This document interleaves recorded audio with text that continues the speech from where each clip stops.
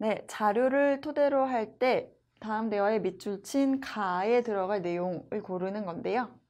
이 문제에서 중요한 거는 여기서 전형적인 의원 내각제를 채택하고 있다라는 게 중요해요. 지금 이 문제는 의원 내각제를 토대로 해서 푸는 건데요. 그래서 지금 뭐가 문제가 되냐면은 현재 각국에서는 지역구 의원의 정당별 의석수에 비례해서 각 정당의 비례대표 의석을 배분했대요. 아, 원래 어떻게 했냐면은 A당이 지금 110명이었으면은 비례대표 의원 의석수를 따로 선거를 한 게 아니라 비례대표 의석이 지역구 의원 선거구의 2분의 1이잖아요. 200석이고 100석이니까. 아, 너네 지역구에서 110표 땄구나. 110짜리 땄구나. 그러면 너네는 비례대표는 55 가져. 너네는 35. 너네는 5명. 너네도 5명. 이런 식으로 배분해 줬다는 거예요. 이걸 어떻게 바꾸냐면은 비례대표 선출을 위해서 별도의 선거를 다시 하겠대요. 어, 이렇게 배분해주는 방식에서 그냥 투표를 다시 하는 걸로 이렇게 바꾸겠다는 거예요. 그렇게 했을 때 어떤 변화가 생기는지를 보게 되면요.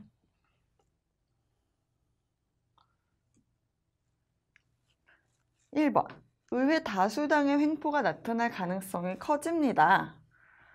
라고 했을 때 어, 원래 A당은 더 많았었죠? 비례대표를 지역구에 배분해서 줬을 때가 자기가 더 힘이 셌어요. 그런데 다수당의 횡포가 이렇게 선거 방식을 바꾸고 나서 줄어든 거죠. 원래 과반수를 차지했었는데 과반수를 차지 못하게 됐어요. 총 300명 중에서 원래는 165가 됐었기 때문에 혼자서도 뭐든 다 결정할 수 있는 강력한 상태였죠. 그런데 이렇게 선거 방식을 바꾸고 나서는 140석밖에 안 되기 때문에 혼자서 아무리 주장을 해봤자 나머지 3개의 당이 어, 너의 의견에 반대해 라고 하면 A당이 원하는 걸 할 수가 없게 된 거예요. 그래서 다수당의 횡포, 다수당이 마음대로 하는 게 나타날 가능성이 줄어든다 라고 해야 옳은 답이 되겠죠.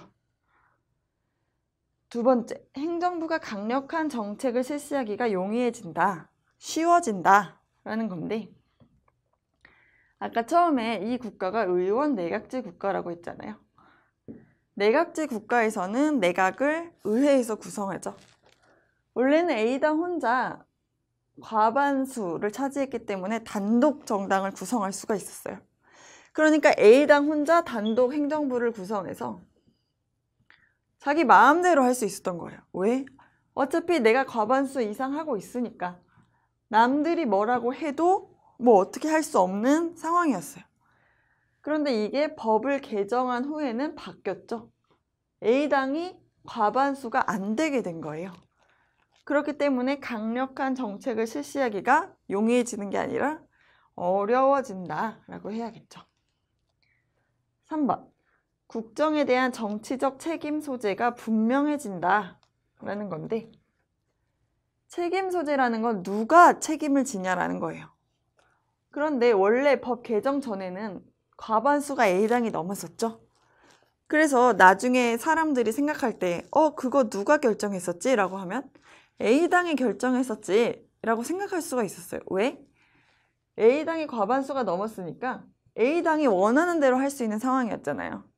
그러니까 그 책임도 나중에 A당에 지는 거죠.